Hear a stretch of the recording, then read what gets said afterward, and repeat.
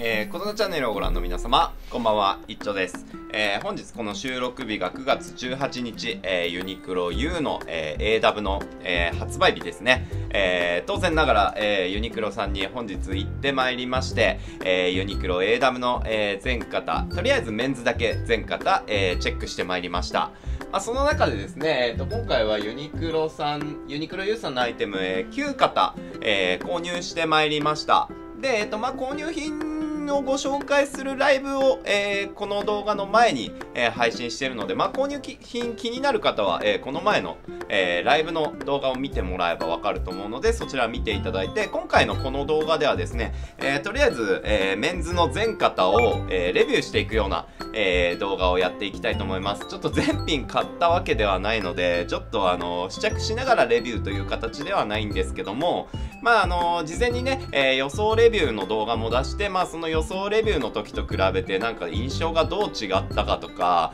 まあ、あとサイズ感についてもちょっとお話しさせていただければと思ってますので、まあ、ぜひオンラインで購入してる人とかだったり、まあ、明日、えー、ユニクロさんに実際行ってね、えー、購入を検討してる方なんかはちょっとこの動画の、えー、意見も参考に、えお買い物をしていただければと思います。で基本視点的には僕32歳で今170センチ65キロっていう体格。で、あと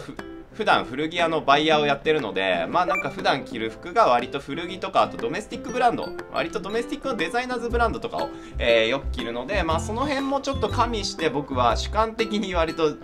僕のなんかこう見解がどうだったかっていうことを喋っていくのでまあちょっと人それぞれねあのやっぱ好みはあると思うのでちょっと僕の意見が参考にならない人もいるかもしれないですけど、まあ、僕がちょっと古着のバイヤーっていうところとあとその荒さっていう えー、年齢も加味してまあなんかこういう視点でユニクロ U の今回の新作を見ましたっていう感じの、えー、感想を語っていくのでまあぜひぜひなんか年が近い人とか僕と着こなし比較的近い人とかは、えー、参考にしたしていただけると思いますのでぜひ参考にしてみてください。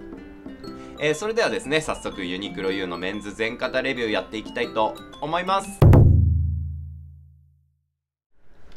はい、じゃあ早速1つ目のアイテムからご紹介させていただきます。えー、オンラインショップの、えー、上の方からレビューしていきたいと思います。まず1つ目のアイテムが、えー、テーラードジャケット、え、セットアップ可能っていうアイテムですね。まあなんかこのアイテムに関しては多分 SS にリリースされていたセットアップとおそらくほぼ変わらないものかなっていうふうに思いました。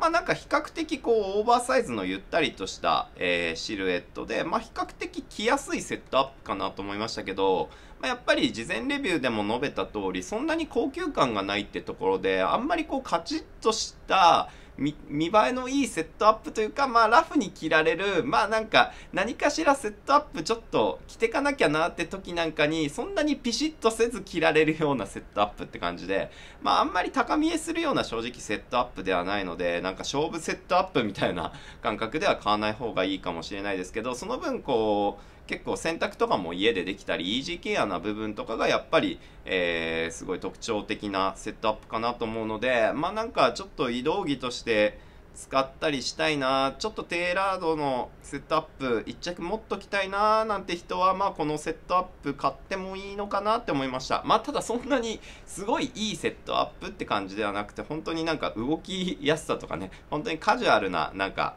こう機能性を求める人に、えー、向いてるセットアップかなっていう感じです。で色は買うんだったら、えーと、グレーが比較的ごまかし効くので黒とかネイビーだとどうしてもちょっと安っぽさ出ちゃうので個人的にはグレーなんかがおすすめかなって思いました。で続いて、えー、こちらですね、えー、ジャージテーラードジャケット、えー、こちらもセットアップ可能のアイテムとなります。これなんかジャージ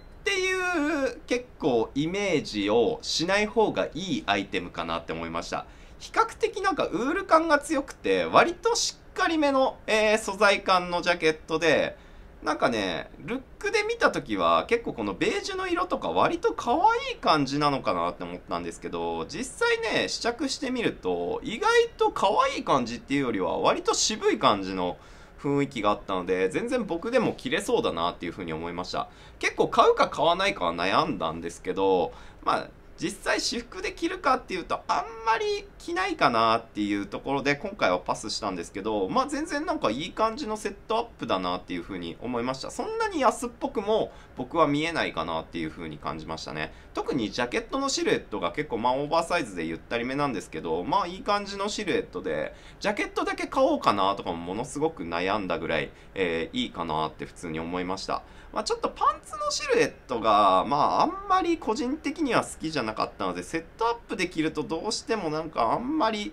まあ、他のちょっともうちょいいいセットアップ着たいなって僕の中では思ってしまったので買わなかったですけど、まあけど普通になんか全然使えるセットアップかなっていうふうにも思いました。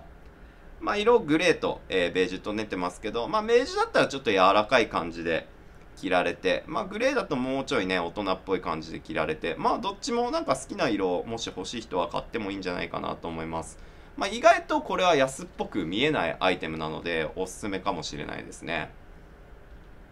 で、続いて、えー、と、ご紹介するのがこちら、えー、ハーフコートというアイテムになります。まあ、ハーフコートね、事前レビューでかなりいい感じかなっていうふうに思ってたんですけど、まあ見た目的にはものすごいいい感じでした。今回購入もしました。こちらですね。購入もしてきました。普通に色味がまあかっこよかったです。なんか白っぽい色味かなと思ったら結構サンドベージュっぽい、まあちょっとくすみがかった色味ですごい色味綺麗ですし、デザインもものすごいかっこいいなって思いました。なんで見た目的なところではかっこいいと思ったんですけど、実際着てみるとね、結構肩とかが割と張りがあって、まあ素材的にもちょっとブロックテックトレンチコートとかに使われてる素材よりも多少張りがあって落ち感があんまり出ない素材感なので、割とこう肩がね、バコッっていう風になるんで、このコートはもし欲しい人はジャストサイズで買った方がいいです。なので僕いつもユニクロのアウターとかって大体 L か XL を選ぶんですけど、今回このハーフコートに関しては S サイズを選びました。もうね、M 着ただけでもちょっと肩ボコってなってシルエット崩れてしまいますしもう L なんて着た時にはもっと崩れてしまうんでなるべくこのハーフコートに関しては肩に合った、えー、サイズのものを選んでほしいのでもうなるべくちっちゃめで僕は、えー、選んだ方がいいかなと思いました。僕結構肩幅ある方なんでそう170センチ65キロですけどそのくらいの体格の方だったら S なんならそれより痩せ型の人だったらもう XS とか XXS ぐらいのサイズを選んでもらった方がいいかもしれません。まあけどかっこいいんですけど正直着こなしってなるとちょっと難しいアイテムかなと思うので個人的にはあんまりおすすめかと言われるとおすすめできないアイテムかなっていうふうには思いましたかっこいいんですけどね、かっこいいんですけど、ちょっと着こなしが難しいアイテムかもしれないんで、あんまり汎用性は高くないかなと思いますし、オンラインで買うよりは絶対試着してから買った方がいいアイテムかなって思います。多分ね、オンラインで感覚的になんかいつものね、買ってるサイズとかで選んでポチってしまうと届いた時にちょっとびっくりするかなって思うんで、その辺は気をつけてください。まあカラーダークグレーと、えー、こちらのベージュとありましたけど、まあ個人的には全然ベージュの方がかっこいいかなって思いました。ダークグレーあんまり色味がなんかこれはいいなっていう風に感じなかったっすかね。なんで、個人的にはベージュがすごいおすすめですかね。まあ本当にね、これ結構賛否両論分かれると思うんですけど、多分着こなしづらいアイテムだと思うから、特に若い子とかが買うのはあんまおすすめしないかな。まあ30代、40代の方だったら着こなせるかなって思いますけど、若い子が着こなすにはちょっと着こなしづらいから、やめた方がいいかもしれません。はい。えー、そんな感じで次の、えー、アイテムご紹介させていただきます。えー、ミラノリブジャケットというアイテムになります。これね、予想レビューでは全然期待してないっていうコメントしたんですけど、思ったよりすごい良かったです。ということで、買ってきました。はい。こちらですね。えー、僕はネイビーの、えー、っと、こちらが L サイズを購入しました。思ったより生地感がすごい良くて、見た目もなんか意外と安っぽさがないんですよね。うん、なんで結構僕は好印象でしたしシルエットもすごい綺麗です。可愛いなんかちょっとね、あの、ドメスティックブランドっぽいオーバーサイズのシルエットなんですけど、なんか肩もいい感じに落ちてくれて、身幅もある程度ゆったり取られてて、なんか普通にブランドものかなって思えるようなアイテムでした。で、これ面白いのが、普通にテーラードジャケットでもあるんですけど、スタンドカラーとしても着られるっていうところですね。この襟の部分、ここの部分に、こんな感じでボタンがついてて結構簡易的なボタンなんですけどこれボタン止めてあげると結構ねインナー使いとかもできるようなアイテムなのでこのミラノリーブジャケットは実はすごい名作なんじゃないかなって思いました。着心地もものすごくいいですし本当にねこれは意外と今回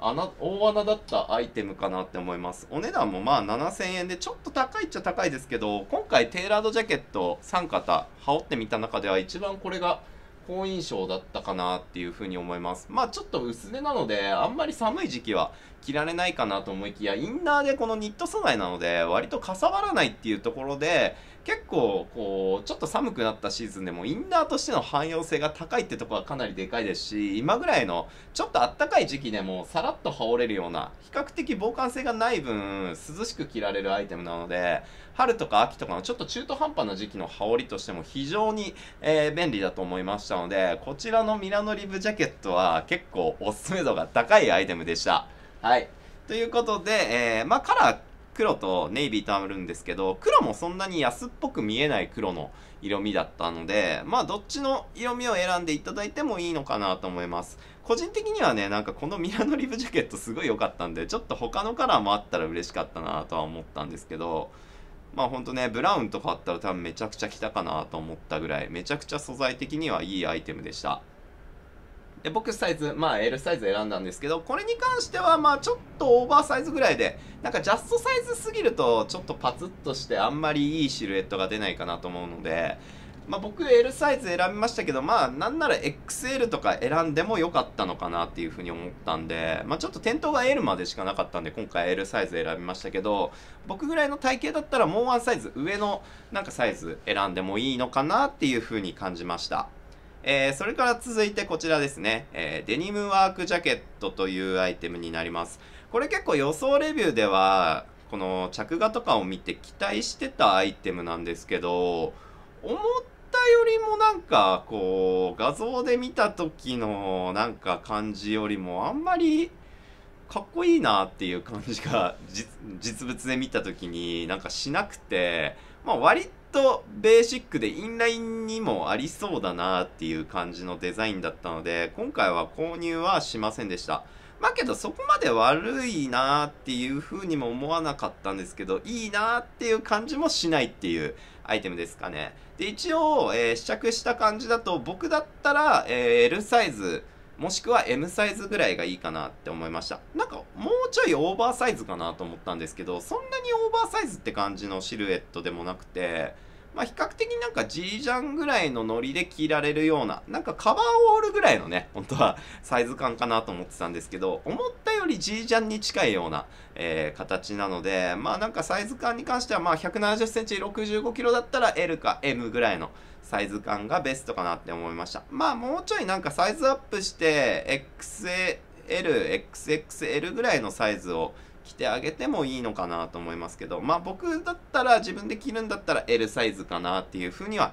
えー、感じました。やっぱりまあインディゴと、えー、ブルーと出てるんですけどまあ秋冬に着ることを想定するんだったら多分インディゴの方がいいと思います。インディゴの方がやっぱ高級感があってまあちょっとブルーとかだと古着っぽさてるのでまあなんか用途にもよりますけどまあ個人的にはインディゴの方が全然かっこいいなっていうふうには感じました。えー、続いてご紹介するのはこちらですね、えー、コーディロイパデットブルゾン。結構気になってる方も、えー、多かったアイテムだと思いますけど、まあ、実際予想レビューでは多分シャツと同じ素材、えスタンドカラーシャツと同素材だと思いますって言ってたんですけど実際店頭で見てみたらちょっとだけ素材感は違いました。ちょっとだけシャツよりも畝が太めのデザインだったかなと思います。でまあ中綿入ってどんな感じになるんだろうなと思ったけどまあ思ってたよりはなんか安っぽくはなかったんですけどまあけどなんか割と画像で見た通りの雰囲気だなっていう感じがしました。うん。まあけどなんかいいところとしてはなんかダークグレーの色味が真っ黒っていうよりは本当にちょっと焼けた黒みたいな色味でまあなんか古着っぽさもあるってところであんまりなんかその古着っぽさがあるからあんまり安っぽさがこう前面に出ずにまあなんかあんまりユニクロっぽさもないからそこはすごいいいところかなっていうふうに思ったんですけどまあけどなんかこの手のジャケットだったら正直古着のねやっぱ古着のバイヤーとかやってると古着でこういうので結構もうちょいかっこいいやつとかも結構見るからわざわざなんかここで買う必要があるのかなっていうふうにも思いました。で中綿入ってるって言ってもそこまで防寒性が高いかっていうとそんなに防寒性もないので個人的にはこれはちょっと一番アウターの中では期待外れだったかなっていうふうに、え、思ったアイテムです。まあただなんか身幅広くて割とショート丈で着やすいアイテムではあるのでまあ欲しいなって思った方は買ってもいいんじゃないかなっていうふうには思いますけど僕はあんまりこれは好印象じゃなかったかな。で一応サイズは僕は 170cm65kg でまあ自分で買うんだったら M サイズでいいかなっていうふうに思いました。なんかあんまりオーバーサイズで着るアイテムでもないかなと思ったしジャストすぎるとちょっと変だしまあなんか M サイズぐらいが自分が着た中では一番ちょうどいいかなっていうふうに、えー、感じました。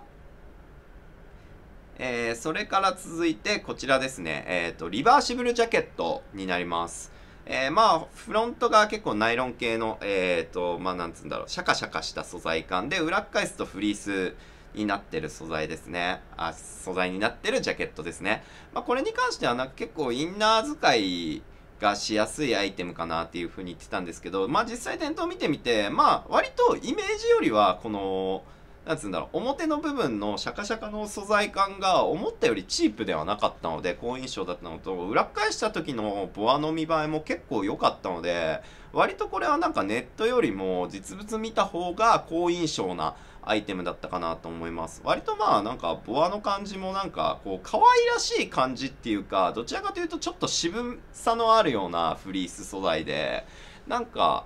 そうだな。なんか割と若い子にはちょっと人気なさそうな気がするけど全然なんかアラサーとかアラフォーとかの人が着てても恥ずかしくないようなデザインだったので個人的にはなんか予想レビューよりは好印象になったアイテムで今回も買おうかちょっと悩んだんですけど今回はパスしました。けど本当にすごい良かったかなって思います。で僕は、えーと試着した感じはまあ L サイズ自分だったら着るかなって思いました。インナーだけで考えると M サイズが良かったかなって思うんですけど、まあジャケット使いもするって考えると L サイズの方がいいと思うし、まあそこは人それぞれ用途によって違うかなって思うんですけど、まあ僕はけどインナーでもジャケットで着ることも考えると L サイズがいいのかなって思いました。で結構ねカラーによってこれなんか雰囲気変わって個人的にはこのダークブラウンの色味がなんか裏のフリースの色はかっこいいなって思ってけどフロントのこのシャカシャカの色味はもう一個のこのちょっと濃いめのダークブラウンの方がなんか色味的にはいいなって思いました。ただこのね深みのあるダークブラウンだと裏返すとボアの色が黒に近い色味なのでなんかそれはインナーで使いづらそうだなと思ってこっちの明るめのダークブラウンの方は裏返した時のなんかボアの色味がすごい綺麗だったのでインナーでもすごい汎用性高いアイテムだなと思ってそうこれでなんかだから組み合わせがなんか反対側だったらすごい良かったのになっていうふうに思ったりはしましたけどまあ僕が買うんだったらこっちのえっ、ー、と明るめの方のダークブラウンかなっていうふうには、えー、感じましたかね。で、お次紹介するアイテムがこちらになります。えー、フリースシャツジャケットというアイテムなんですけど、これ予想レビューで、まあ割かし使いやすいし、もう間違いないアイテムだと思いますよっていうことを言ってたんですけど、まあ実際店頭行ってみて、思いのほか結構タフな、なんか、ウール感が強いフリース素材で、思ったよりもなんか結構肌にチクチクする感じとかもあるし、なんか、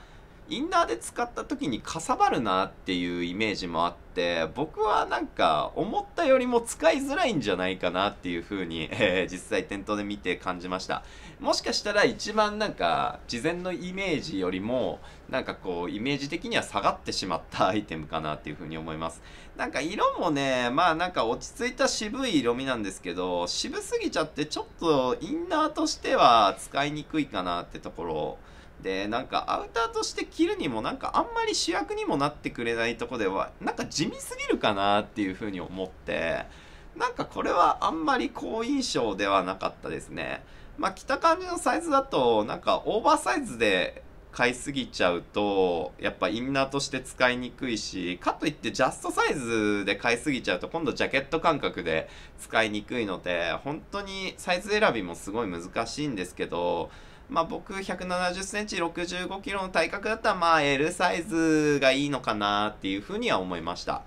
うん。そんな感じのアイテムでございます。えー、続いてご紹介するのがこちら、ウールブレンドフリースジャケットになります。まあこれね、もうね、店頭に行って、まあ、なんか、もう、ダントツで目を引いたアイテムかもしれません。もちろん購入もしてまいりました。あれちょっとないので取ってきます。はい、こちらですね。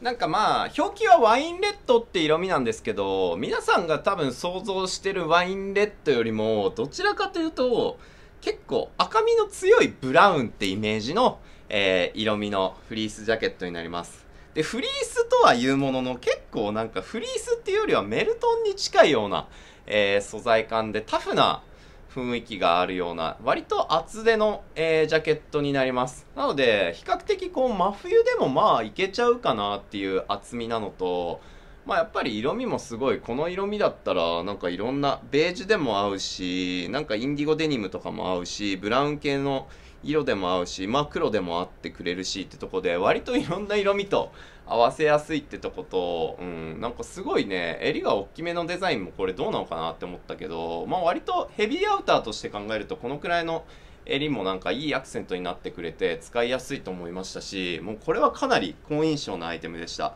で一応ワインと,、えーと、ブラックとダークグレーと3色あるんですけどもうダントツでこのワインの色味がおしゃれで高級感もあるしちょっとなんか古着っぽい雰囲気も出てくれるんでもうこの3色だったら絶対僕はワインを選んだ方がいいかなって思います。でサイズ感的には結構オーバーサイズだったのでまあ自分で S 着ても全然ありだなと思ったしまあ僕 L 買ったんですけど L 着てもありかなって思いました。まあただすごい真冬まで着ることを考えると割と中に着込むんで着込むってなるとちょっとオーバーサイズで買った方がいいのかなと思って僕は L サイズを買いました。まあけどなんか割と早い時期からちょっとジャスト目で着たいっていう方だったら S サイズ僕の170センチ65キロの体格で S サイズぐらい選んでいただいてもいいですしちょっと中にある程度着込んで、えー、着たいなっていう方は僕の体格ぐらいだったら L サイズでいいのかなと思います。まあこれは本当かなり おすすめ度高いアイテムなのでもうなんかねもしかしたらすぐオンラインでなくなってしまうかもしれないんでちょっと早めに買った方がいいかなって思います。めちゃくちゃ普通にかっこいいなって思いました。これだって9990円でしょ？これ多分古着でこういうデザインの古着のこの素材のジャケット出てきたら多分古着屋さんまあ僕の古着屋だったら結構2万円とかでも全然売れるなって思うレベルなんでこれはかなり安いかなっていう風に感じました。はい。そんな感じでじゃあお次のアイテムいってみましょう、えー、お次のアイテムがトレンチコートですね。いやこれねそう。レビューでもまあ正直着てみないとわかんないよねっていう話をしてたので、まあ、今回ここでお伝えしたいんですけど思ってたよりも正直好印象でした。まあ普通になんかねあの SS のあのブロックテックトレンチコートがすごいかっこよかったんでまあそれと同じような雰囲気だったらかっこいいかなって思ったんですけどまあ割と同じような雰囲気でした。うん。まあこんな感じ。で僕はえっ、とダークグレーのえっ、ー、と S サイズを買いました。これもねサイズ感が結構大きめで初め L 羽織って全然かっこよくねえじゃんってなってあれじゃあちょっと M ぐらいがいいのかなと思って M サイズ羽織っても結構オーバーサイズでなんかこれも着られちゃう感じしてあんまり良くないなと思ってで次に S サイズ着てあ S サイズ着るとめっちゃかっこいいじゃんと思ったんで割とサイズ選びによってちょっと表情が変わってくるアイテムかなって思うので個人的にはそんなに大きめに買わないで割とサイズはちっちゃめ割とタイトめで買った方がいいかなっていう風には感じました。もう S サイズで着てても結構大きく感じるようなトレンチコートなのでもう本当 僕普段 L か XL 買いますけど全然僕の体格だったら S サイズでいいです。なんなら XS でもいいかなって感じるぐらいのサイズ感でした。でカラーが、えーと、こちらのダークグレーとベージュありましたけどまあ僕はやっぱダークグレーの方がトレンチコートとして色味珍しいですしルメールさんのなんかね、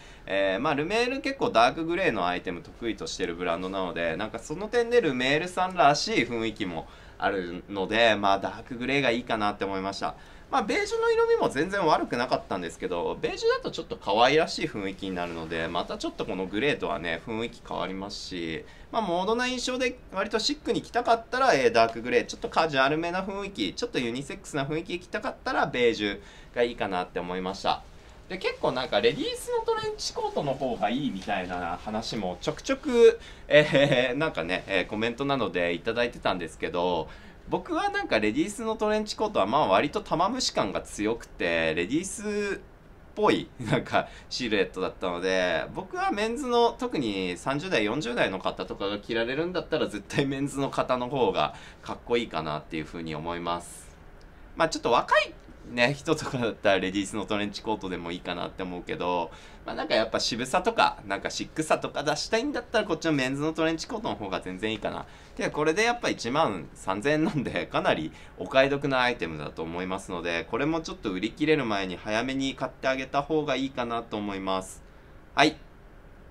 そんな感じで、じゃあ次のアイテムいってみましょう。次のアイテムがこちら、ダブルフェイスオーバーコートですね。これもね、あのー、全然ユニクロの画像で見た時よりも、好印象なアイテムでした。えー、当然僕も購入してまいりました。僕は、えー、っと、まあ、一応カラーが黒とダークグレーとあるんですけど、僕はダークグレー買いました。これもなんかもうルメールっぽいなっていうアイテムですね。結構、もう身幅広くてなんか普通のチェスターコートってこうカチッとしたイメージですけど割となんかこう身幅が広い分そんなにカチッとしない雰囲気で着られるのでかなりまあドメスティックブランドがよく出してるようなチェスターコートみたいなイメージでめちゃくちゃ使いやすいし色味もやっぱこのダークグレーの色味がめちゃくちゃ良かったです。そんなにね安っぽい雰囲気もないですし思ったよりもなんか高級感あるので全然これがセレクトショップで5万円とかで置いてても僕は違和感ないですしまあすごい好印象だしなんか着やすいアイテムだなって思いました。でサイズ感なんですけどまあ一応元初め L サイズ着てちょっと大きいかなと思って M サイズ着て S サイズ着てなんかまあ割とどれもしっくりきました。正直どれ着ても割と S サイズでも僕の体型でもオーバーサイズかなって思うようなまあシルエットでした。なのでまあなんかこれは結構サイズ選び難しいんですけどまあけど僕は割とこのシルエットだったらなんか変にジャストサイズに近いね、サイズ感できるより結構オーバーサイズで着た方がかっこいいかなと思って L サイズ選びましたまあオーバーサイズで選んであげれば中とかもね、えー、真冬でも、えー、着込めますし、まあそういった意味ではオーバーサイズで選んであげた方がいいかなと思います。まあやっぱりあの、裏地とかついてない割と防寒性はそんなに高くないおそらくコートになってくると思うので真冬とかにも着たいってなるとね、えー、中着込んであげた方がまあ防寒性が取れるのでそういった意味ではちょっとオーバーサイズで選んであげるとこのコートはいいかなって思います。まあ黒もねそんなに安っぽい感じはしなかったんですけどまあけどやっぱり黒のチェスターコートは割とまあいろんなブランドさんで出してるし買うことはできるのでこのダークグレーの色味本当にねいろんなブランドで出てるかって言われるとほぼ出てない色味なので僕は買うならこのダークグレーがおすすめですかね。うん。めちゃくちゃこれはかっこいいと思います。うん。1万5000円だったら絶対安いかなっていう風に感じましたね。